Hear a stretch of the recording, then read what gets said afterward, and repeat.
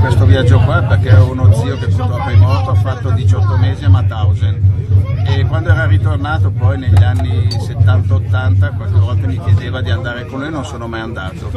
Allora prendo un po' questa occasione per, eh, per eh, onorare un po' la sua memoria. Sì, sono molto contento di questo viaggio anche perché mi dà l'opportunità di confrontare con tutto quello che ho letto in tutti questi anni, che ho visto, eccetera.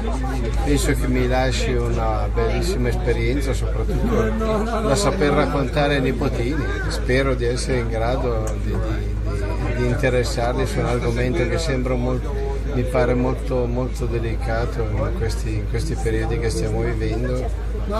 Spero in una non ripetizione, ma in effetti un po' di paura c'è in, in questi, in questi in rapporti con gli extracomunitari, tutte queste cose che stanno succedendo in questi momenti.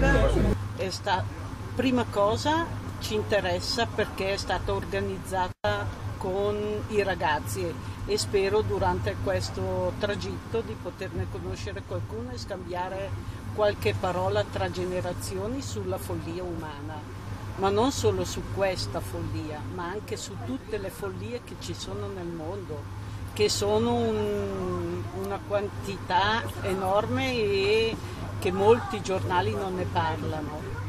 Altra cosa, mi piacerebbe che questa esperienza magari possa essere di aiuto per organizzare qualcosa. Ho partecipato a questa iniziativa perché visto che ci sono dei giovani che vanno a vedere una cosa che è terribile. Noi quando eravamo ragazzi abbiamo vissuto questa esperienza perché qualche nostro parente magari era anche stato in questi campi e ci ha tramandato, ci hanno fatto vedere dalle fotografie che abbiamo visto, perché noi avevamo dei parenti che erano stati nel centro Purtroppo i giovani di oggi se non vanno a vedere queste cose pensano che non sia neanche esistito. Il fatto di partecipare a questa iniziativa, a questo viaggio per Audi, da parte mia perlomeno, è di capire e verificare fino a che punto può essere arrivata la follia dell'uomo.